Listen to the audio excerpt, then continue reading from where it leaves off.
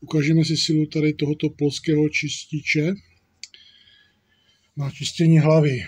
Takže ho tam aplikuju.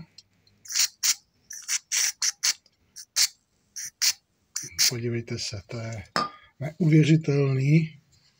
Jo. To nebylo vůbec nějak předtím přichystané. Jo, byl tam karbon. No.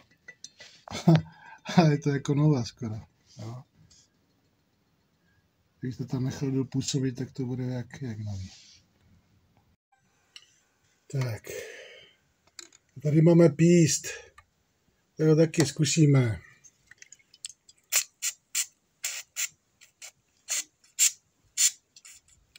Ten je teda víc zakarbonovaný, než byla ta hlava. Tak, budu muset asi nechat trošku dopůsobit, uvidíme.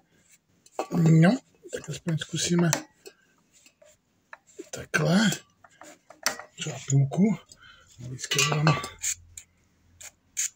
aplikujeme. Tak. tak.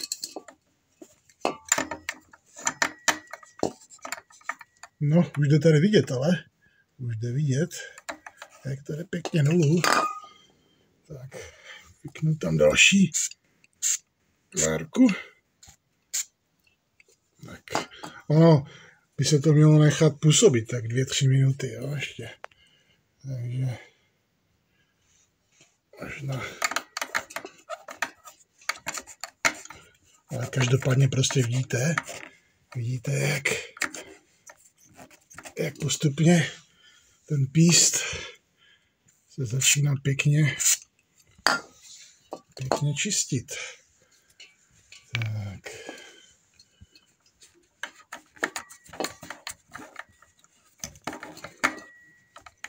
Tak. No, já to teďka na chvilku pauznu, střiknu to a nechám to působit pár minut a pak to setřu. Tak, po dvou minutách budeme setřít.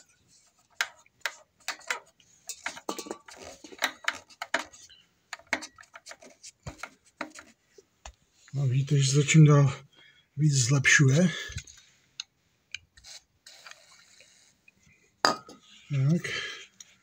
No, musím se to udělat navíckrát. Ale teda je to mnohem lepší. Je to mnohem lepší, než, než to bylo na začátku. Jo, tam ta vrstvička karbonu byla minimálně půl milimetru, tady víc. No, po zhruba třech minutách se to už takhle očistilo pěkně. To úplně jenom vyžralo ten karbon. Jo.